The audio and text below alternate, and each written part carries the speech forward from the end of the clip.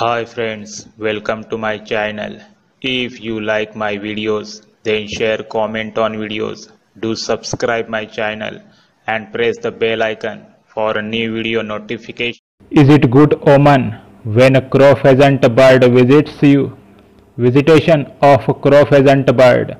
This is a good omen for you, and this means positive outcomes, spiritual growth, confidence, progress, new opportunities, protection, and good luck.